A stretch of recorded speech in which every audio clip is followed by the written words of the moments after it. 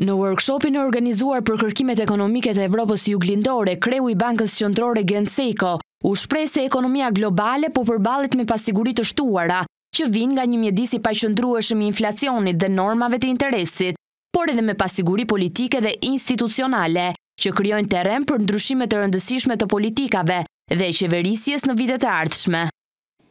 Studimet dhe analizat tona empirike mbi shkaqet e inflacionit dhe rolin e faktorëve nominalë dhe realë në formimin e çmimeve kanë pasuruar politikën monetare dhe instrumentet e saj, duke nxitur inovacionin e politikave për të adresuar ndryshimet e rëndësishme strukturore që janë shfaqur.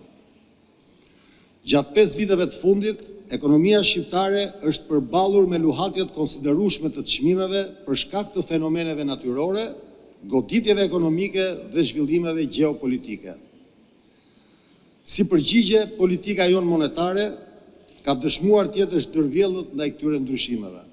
Ekonomia shqiptare, sipas guvernatorit, ka pësuar ndryshime të rëndësishme strukturore që lidhen me rritjen e turizmit dhe ndërtimit.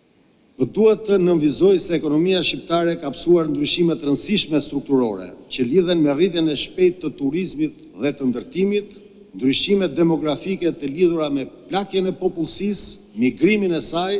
si dhe me procesin e integrimit në Bashkimin Europian. Këta faktorë së bashku kanë ushtruar presion shtesë mbi çmimet, ku pavarësisht kërkesës së fortë agregate dhe presioneve të tregut të punës, arritja e objektivit tonë të inflacionit është komplikuar nga mbiçmimi i fortë i lekut ndaj euros, një faktor kyç në një ekonomi të vogël dhe të hapur si Shqipëria.